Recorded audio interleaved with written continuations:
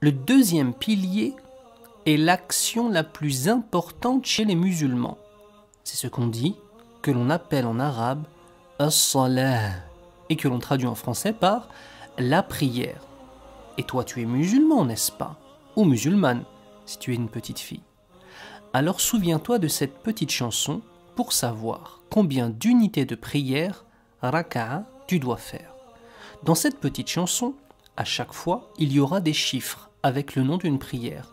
Eh bien, chaque chiffre qui sera mentionné, qui sera dit et qui sera chanté avec cette prière, te donnera le nombre de raka'a que tu dois faire. Alors moi, je vais te la réciter simplement, te la lire, mais j'espère que toi tu en feras une belle chanson, Inch'Allah. Le Fajr a deux amis avec qui il rit.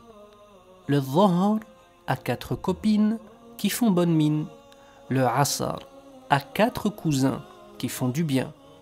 Le Maghrib a trois copains qui sont malins. Le Isha a quatre sœurs au grand cœur. Et le petit musulman qui prie à l'heure vivra le bonheur.